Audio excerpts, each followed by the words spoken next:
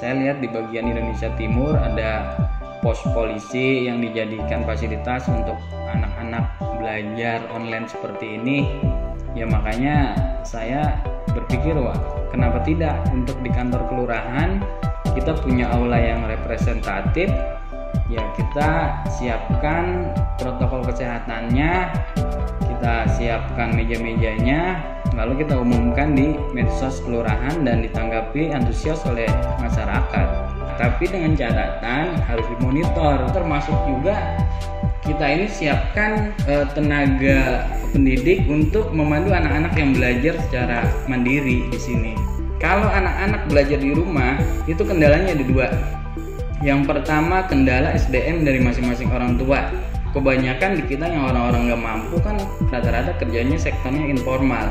Dia boro-boro mau ngajarin anak kan, sehari-harinya udah sibuk bagaimana memenuhi kebutuhan sehari-hari.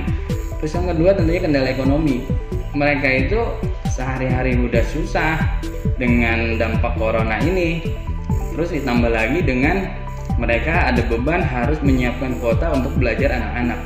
Boro-boro mereka untuk beli paket, untuk makan sehari-hari aja kan mereka kesulitan gitu bang. Ini yang harus kita pikirkan ya dan pemerintah harus ada di situ untuk minimal ya sedikit mengurangi beban masyarakat